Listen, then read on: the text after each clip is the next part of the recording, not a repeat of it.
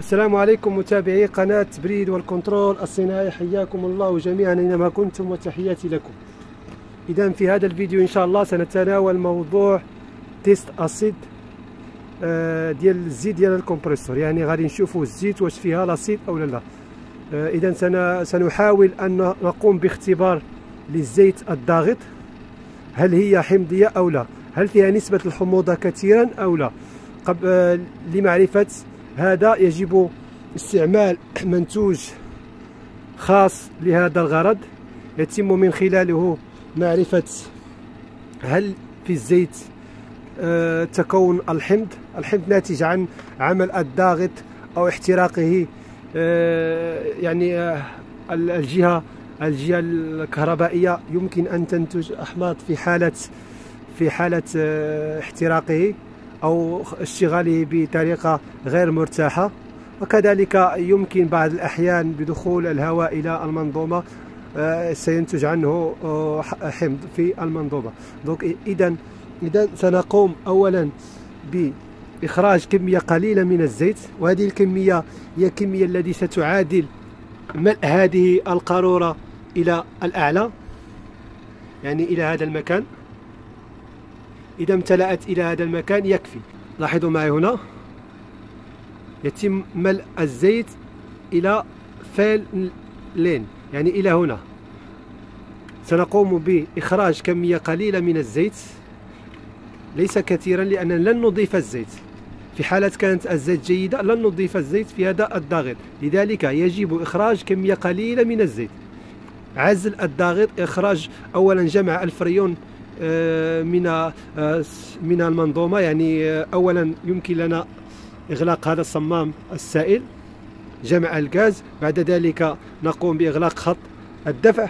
إذا ارتفع الضغط هنا كذلك سنقوم باشتغال الضاغط لدفع الغاز إلى الكوندنسور بعد ذلك عزل الضاغط من جهتين أفضل يعني حتى من خط الدفع. وإخراج كمية قليلة من الزيت من هنا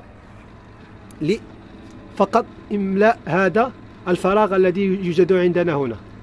بعد ملء الفراغ من الزيت سنقوم بتخليط القارورة 15 ثانية تقريبا. بعد ذلك نتركها ل 15 ثانية ونرى لون ال... هذه المادة هل يتغير أو لا. لاحظوا هنا سنجد فيه نفس اللومبالاج. هنا سيتغير الزيت إلى إلى لونين إما لون الوسط الدال على أنه يوجد الحمض ولكن بنسبة قليلة وإذا تحول إلى لون أصفر يعني يوجد حمض كثير في الزيت يجب تغييره. أما إذا بقي في نفس نفس اللون اللون الأعلى هنا دال على أن الزيت جيدة ولا يحتوي على أي حمض. إذا سنقوم بالعملية. إذا قمت بملء هذه الأسطوانة إلى الأعلى من الزيت يعني آه، زيادة آه، قليل من الزيت. آه، قمت بإخراجها من الكارتير. وبتحريكها 15 ثانية. لاحظت أن الزيت لم تتغير جي... لم تتغير لونها بل فقط تغيرت قليلا. لكن بقت لكن بقت على لونها الأصلي تقريبا. إذا نقول هنا أن هذا الضاغط أو هذه المنظومة جيدة لا تحتوي على آه، أحماض أو أسيد في هذه الحالة لن نضيف الزيت وكذلك لن نقوم بتغيير الزيت. هذه فقط لمعرفة هل الزيت في حالة جيدة أو لا آه، نقوم بها بعض الأحيان. آه، للتأكد من الزيت هي هل هي جيدة أو لا. لا نقول أن الزيت متسخة هي حمضية بل اتساخ الزيت شيء آخر واحتواء الزيت على الحمض شيء آخر آه، آه، مختلف عن الأول. أتمنى أن يعجبكم هذا الفيديو.